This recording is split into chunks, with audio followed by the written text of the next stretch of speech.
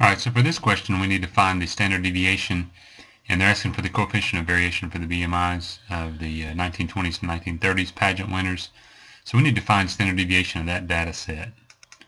Alright, so what I need to do first to, to calculate standard deviation is we're going to click Stat and Edit and we're going to enter those numbers from the first row into my list. Alright, so 20.4, 21.8, and so on. So let me enter the data. Alright, so I entered all the data. Notice it's under L1. That's list 1. Alright, so now what I'm going to do is I'm going to click Stat, Calc, and I'm going to do one variable stats, and I'm going to do one variable stats for list 1. So notice I click second, and then I click 1. See the little yellow L1 there above 1? That's going to give me L1, and so I'll get one variable stats for that. So the number I'm looking for here is the standard deviation, which is going to be, uh, let's call it uh, 1.4 uh, 69, 1.47, let's call it that. So that's the number I need. S equals 1.47. Now this uh, coefficient of variation is kind of a hokey thing to be honest.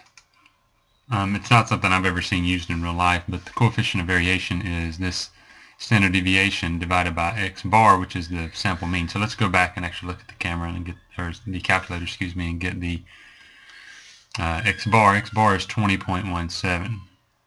All right, so to get this coefficient, we're going to take 1.47 and divide it by 20.17.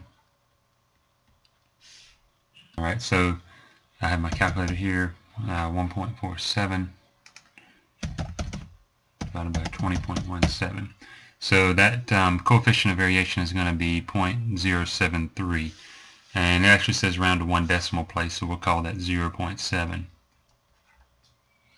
Alright. And sorry, we actually need to convert that to a percentage, my mistake.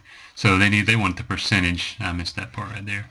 we need a percent. So looking back at the calculation again, it's uh, if we move the decimal over two, it's 7.28 or 7.3 percent. So we'll call that 7.3 percent. Now the next part of the question says to go do that for the recent beauty, beauty, beauty pageant winners. So what we can do here, we can do stat edit again, and we'll go to list 2 this time and put the second set of data in list 2. And when we get that finished, um, we can, I'll show you how we'll do. And so we have that data in. So now we'll do stat, calc, one var stats, and now we'll do L2 so we can uh, do the second list. And we get the same information uh, presented to us but of course the numbers are different. So we take S. We need S is 1.168 and we need X bar which is going to be 18.77 Alright, so when we take S divided by X bar this time, we get